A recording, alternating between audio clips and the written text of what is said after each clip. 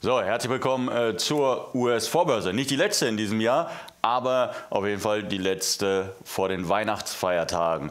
Und ähm, schauen wir uns zunächst mal an.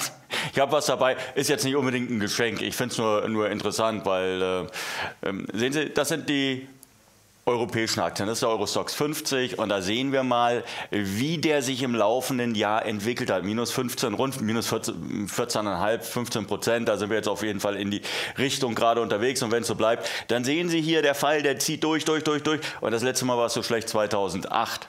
Hat natürlich auch mit der miesen Stimmung zu tun, hat auch damit zu tun, dass wir jede Menge Brandherde momentan haben, ganz viele Probleme, die noch gelöst werden müssen. Haben sie natürlich erstmal alles ins neue Jahr rein vertagt. Anders kann man es nicht sagen. Die Probleme werden ja nur noch vertagt, sie werden nicht mehr gelöst. Und das ist dann am Ende dabei herausgekommen. Wenn niemand Probleme löst, dann gehen die Märkte nun mal nach unten. Und ich sage es ja, das schlechteste Jahr bahnt sich für europäische Aktien an, für die großen europäischen Aktien an seit einem Jahrzehnt. Wie geht es weiter heute an der Wall Street? Naja, weiter auf Richtungssuche, mehr vom selben würde ich sagen.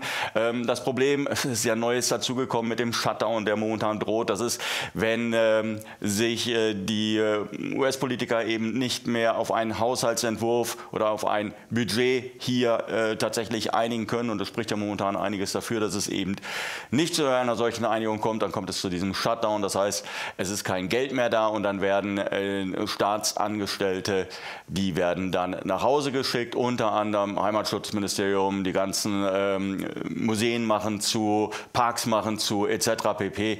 Äh, ist momentan zu einem Politikum geworden, äh, weil Donald Trump gesagt hatte, naja, er will auf jeden Fall ein paar Milliarden Dollar für den Grenzbau nach Mexiko haben.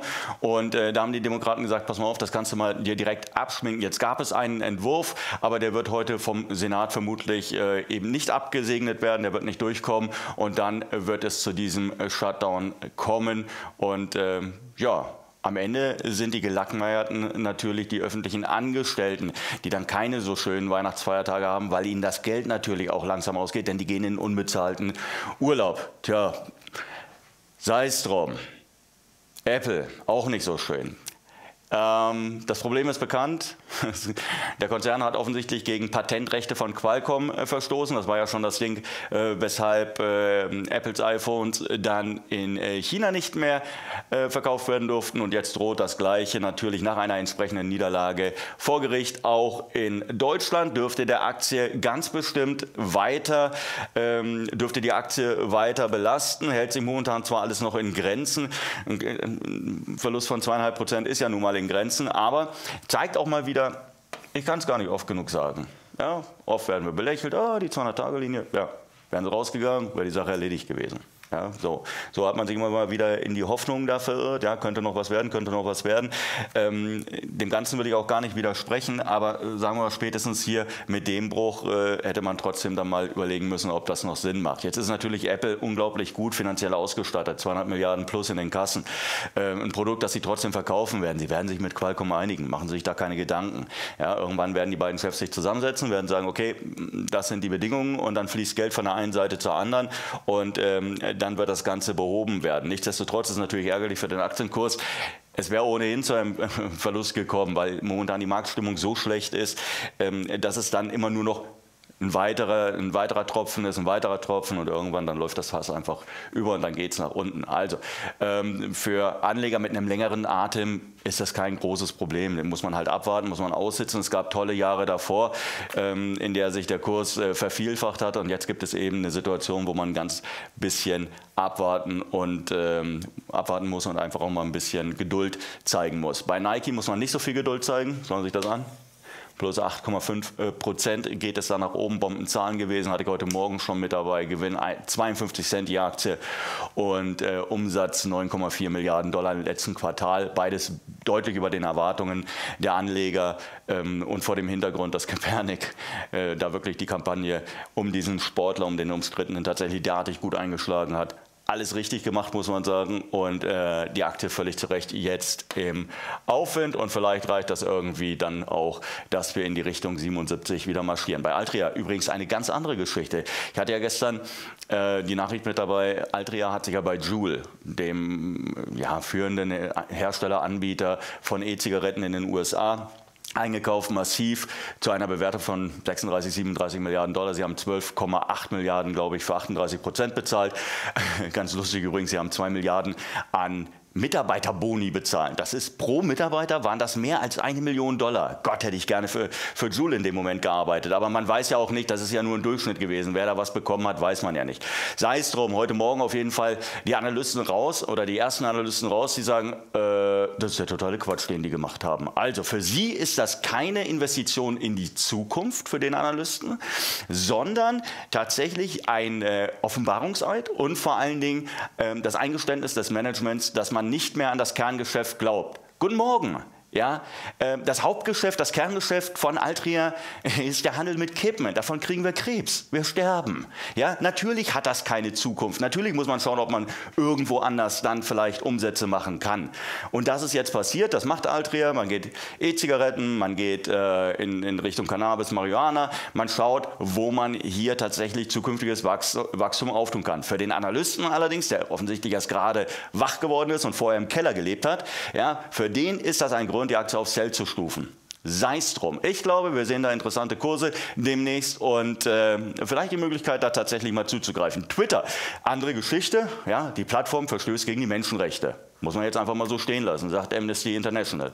Und sie sagen, dass Frauen missbraucht werden und diskriminiert werden und belästigt werden und das alle 30 Sekunden auf Twitter. Das ist natürlich fürchterlich, ein unhaltbarer Zustand und äh, da wird Twitter nacharbeiten müssen, wird auf jeden Fall zulasten der Nutzerkonten gehen, überhaupt gar keine Frage. Also wenn man das ernst meint, wird sich da sicherlich was an der Zahl verändern, dann muss neu nachgerechnet werden, taugt das alles noch, aber das ist natürlich schon ein Image-Schaden, der ganz große Kreise ziehen kann, vor allen Dingen, wenn es in Richtung Werbewirtschaft geht und wenn die sich dann überlegen müssen, äh, will ich auf so einer Plattform mein eigenes Logo noch sehen, will ich da mein, mein Brand noch irgendwie sehen. Werden wir in den nächsten Wochen sicherlich äh, feststellen. Jetzt erstmal die Aufregung natürlich groß. Citron ist noch dann mit dem Hechtsprung short gegangen, hat gesagt 20 Dollar die Aktie, wobei das übrigens schwachsinnig ist, weil wenn Andrew Left das zu Ende gedacht hätte, beziehungsweise zu Ende argumentiert hätte, dann würde es dazu kommen, dass Twitter praktisch entweder sie machen was, ja, sie machen was, dann wird die Plattform bereinigt, dann können wir an die alten Erfolge oder an die alten Aufwärtsbewegungen wieder äh, anknüpfen oder sie machen nichts. Dann fällt die Aktie auf Null, weil dann wird irgendwann keiner mehr werben ohne Werbeeinnahmen. Das ist übrigens das Geschäftsmodell sind die praktisch pleite. Nur so viel. Jetzt 20, äh, 20 Dollar zu sagen, ist einfach nur nice to have, damit man überhaupt was gesagt hat und damit man ähm, irgendwann dasteht und sagt, ich habe es euch ja gleich gesagt. Ne? Und ja, kann, könnte ich mich drüber aufregen. Übrigens, das ist cool. Das sind die Schätzungen von Bloomberg, ähm, was Facebook betrifft. Jetzt sehen Sie, das Rote sind die Schätzungen, die Gewinnschätzungen. Sehen Sie? Und die laufen nach oben. Das ist die ganzen letzten Jahre so gewesen. Und immer dann, wenn die Gewinnschätzung angehoben wurde, dann ist der Kurs irgendwann auch danach ebenfalls nach oben gelaufen. Sehen Sie, und hier hat sich das mal ein bisschen abgesetzt. Da war mal, hier war mal der, der Abstand ein bisschen größer. Dann ging es natürlich in 2018, die ganzen Skandale etc. pp.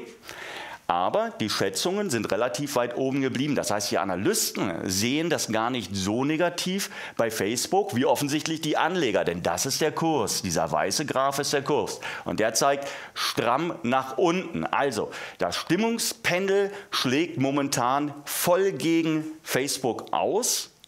Könnte natürlich eine interessante Chance sein wenn wir uns die Vergangenheit ansehen, dass sich das irgendwann wieder annähert, würde ich jetzt zunächst einmal argumentieren, die Aktie ist günstig bewertet, KGV 17 etwa, das ist, ich glaube, die waren überhaupt noch nie so, äh, so, so niedrig bewertet. Das ist die eine Sache. Es dürfte sich also irgendwann äh, wieder annähern und meiner Meinung nach müsste es äh, dann eher nach oben gehen. Die Analysten also, wie gesagt, weiter zuversichtlich, dass Facebook liefern wird. Natürlich sind die Gewinnschätzungen ein wenig nach unten gekommen zuletzt. Das hat aber damit zu tun, dass Facebook selbst angekündigt hat, wir werden weniger wachsen, wir werden weniger schnell wachsen und äh, ja, aber Sie haben es gerade gesehen.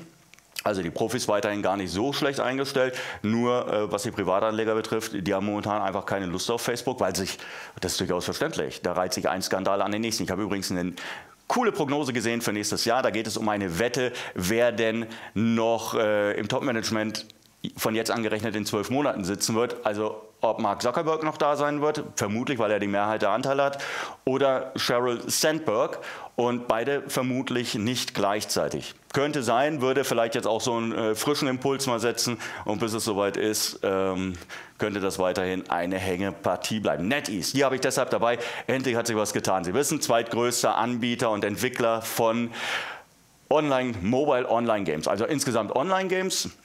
Ähm, und das Kerngeschäft sind Mobile Online Games. Weshalb ist das wichtig? Weil in den letzten neun Monaten keine neuen zugelassen wurden in China. Das ist natürlich blöd, gerade im größten Markt, wenn keine neuen Spiele veröffentlicht werden dürfen, weil die chinesischen Behörden Bedenken hatten, dass ihre Kinder zu viel zocken. Ja?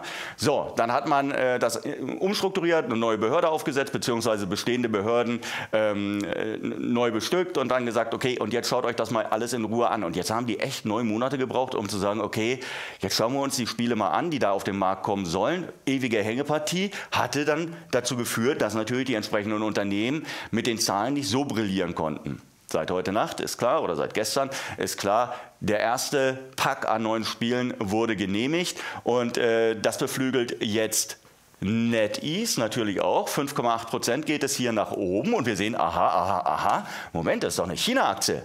Ja, ja, ist eine China-Aktie und es sieht so aus, als wenn wir da irgendwo einen Boden gefunden haben und es da vielleicht tatsächlich noch ein paar Geschenke für, die, äh, für Weihnachten gibt. Und vielleicht, dass wir dann im neuen Jahr sogar mit einer etwas ausgeprägteren Aufwärtsbewegung starten. Und Tencent habe ich deshalb dabei, normalerweise was für die Frühbörse, ja, weil Handel in Hongkong, aber habe ich dabei, weil es auch für die kräftig nach oben geht und weil Tencent natürlich am meisten profitiert. Tencent, Fortnite, ja, sind sie daran beteiligt. Ganz viele andere Unternehmen sind sie ebenfalls daran beteiligt, beziehungsweise haben, da haben sie die Spiele selbst entwickelt. Also die sind natürlich der erste, von dem man denken würde, okay, Freigabe erteilt für die Spiele, müsste Tencent jetzt dann langsam in den Quark kommen.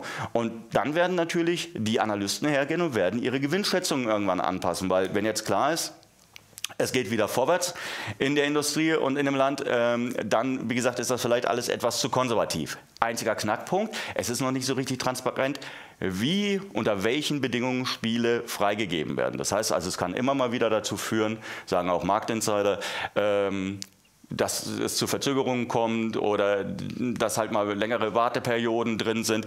Aber im Großen und Ganzen wird der Schritt jetzt erstmal positiv bewertet. Und das heißt auch für Tencent, dass wir vielleicht mal davon ausgehen können, dass sich diese Abwärtsbewegung ausläuft und dass wir eine etwas stärkere Gegenbewegung sehen. Kommt jetzt natürlich darauf an, dass wir da die 37 mal irgendwann rausnehmen. Habe ich noch was dabei? Nein, ich habe nichts mehr dabei. Ja, war ja jetzt auch anstrengend. So, dann wünsche ich Ihnen frohe Feiertage. Erholen Sie sich gut haben Sie eine schöne Zeit mit Ihrer Familie und Ihren Lieben und wir sehen uns dann in der kommenden Woche nach den Am Feiertagen. Am 7.1. sehen wir uns wieder. Am 7.1. höre ich gerade von der Regie, dass wir uns erst wiedersehen. Schade eigentlich. Ich hätte gehofft, dass es vorher noch mal zur Sache geht, aber dann halt am 7.1. Bis dahin. Tschüss.